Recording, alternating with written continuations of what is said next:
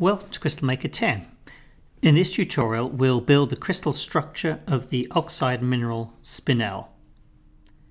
Let's get started with a new document window and I'm going to click the add button to add a new crystal to this existing window. Now that brings up the crystal editor sheet. And we need three things here. We need the space group symbol. This defines the structure's symmetry. We need the cell parameters or lattice parameters. These define the shape of the unit cell. And we then need the coordinates of atoms in the asymmetric unit. Now this is the minimum group of atoms which in combination with the symmetry gives us a complete unit cell. Now for the space group I can type in a symbol. Uh, but what I'm going to do is to click the Browse button and I can choose the space group from this convenient popover.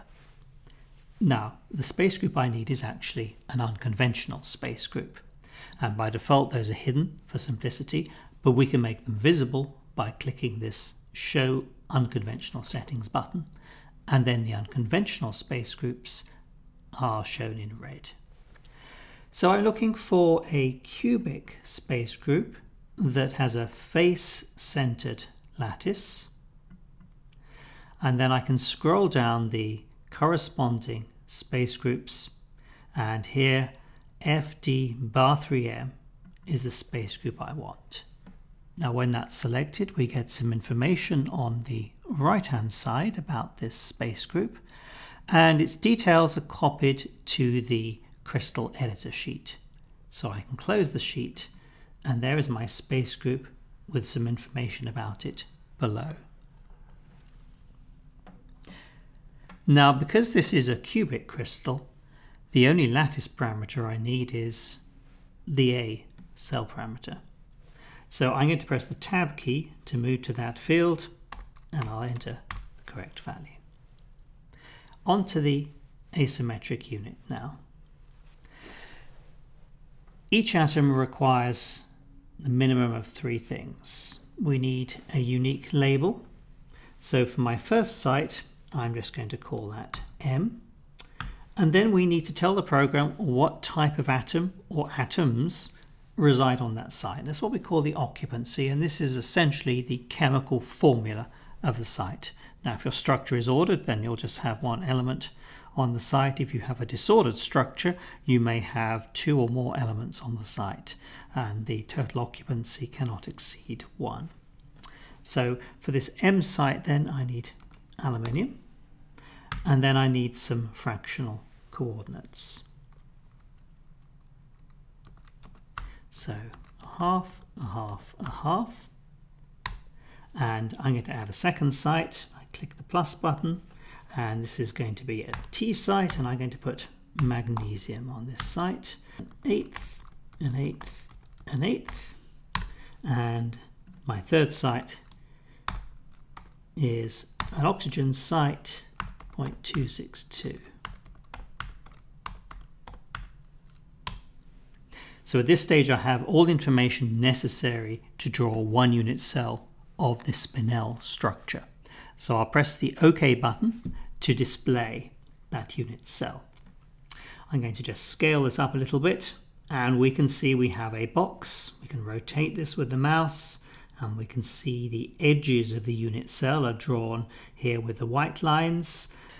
The atoms are drawn in different colors and at different sizes and we can use the legend here in the top right hand corner as a uh, key to those colors. Now these colors and radii are automatically generated by the program using its current elements table, which is something that you can edit using the preferences command. Uh, we can override those colors and radii and we'll do that in a moment. Before we do that, however, we'll take a look at the info inspector here on the right hand side of the screen. Now this is divided into two parts and at the top we have a notes field where you can enter information about the structure. This accepts rich text. So let's type in something. Uh, the crystal structure of spinel MgAl2O4. I said it accepts rich text, so let's put some subscripts in here. Uh, I can use keyboard shortcuts, but I'm going to right click and uh, use the contextual menu. Subscript and another subscript. Let's make this one bold and let's change this color to red using the color palette.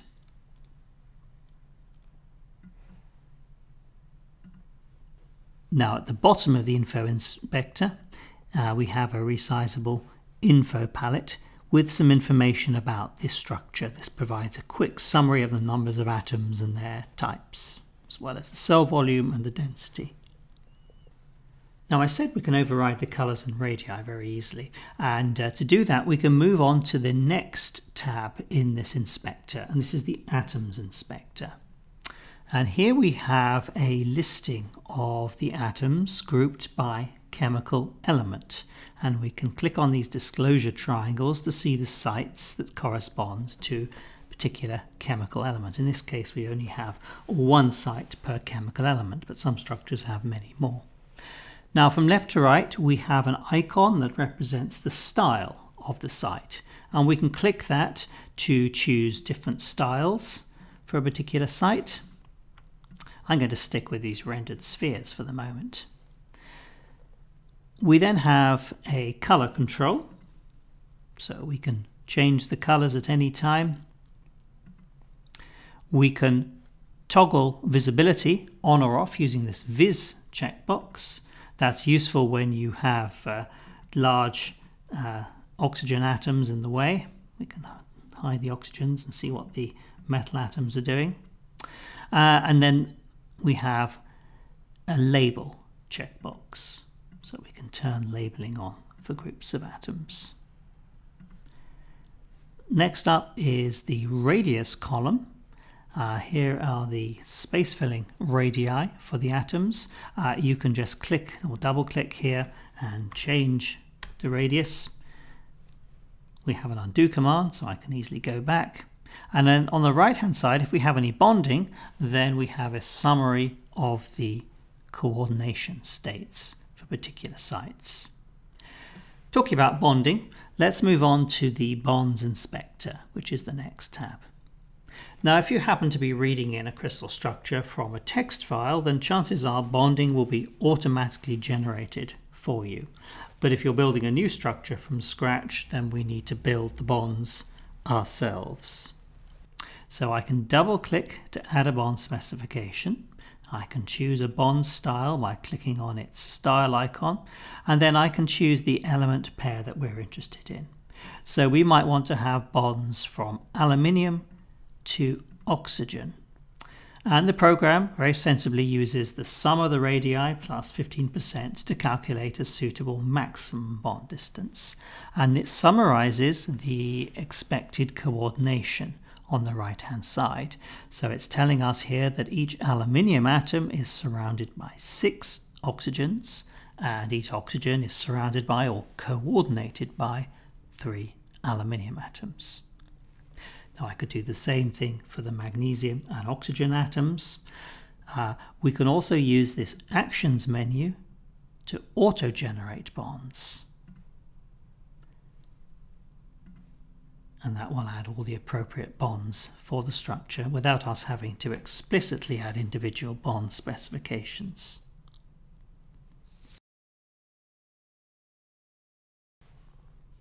Now as we rotate this structure you can see that some atoms don't have their full complement of bonds and uh, some atoms are fully bonded.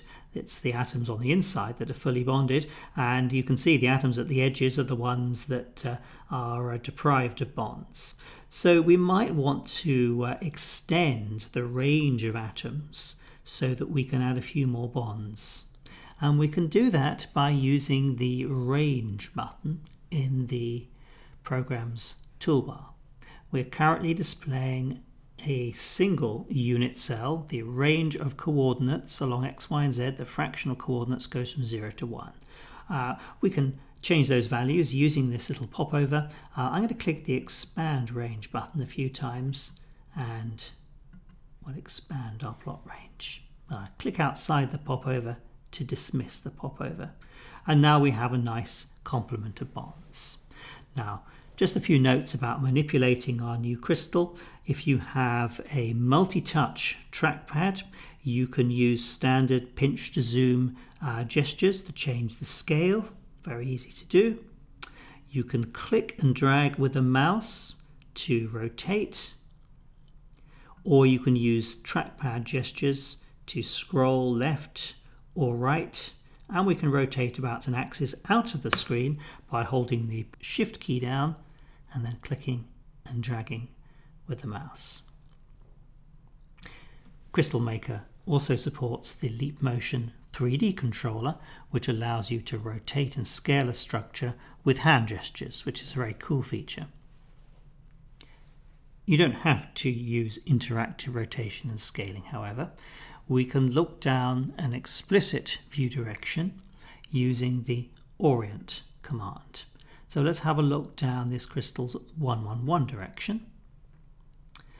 And we can also rotate through explicit angles using the rotate popover. Now many of these popovers can actually be repositioned and left open if necessary. You can click and drag the popover and Let's just rotate this to 90 degrees and now we can see the structure sideways on. We finish with the popover so we'll close it. So here we have our ball and stick model of the spinel structure and you can see that we have layers of oxygen atoms with metal ions in between. This is a ball and stick model which is the default model type if you move to the program's model menu, you'll see that other model types are available. So we can have a space filling model where the atoms are plotted at their correct sizes and we can have a polyhedral model. If we go to the atoms inspector, we can customize the way these are displayed. Now we don't want to display the oxygen polyhedra here, so I can go down to the oxygen group, I can click that and I can specify maybe a sphere style or a blank style and just show the metal polyhedra in our structure.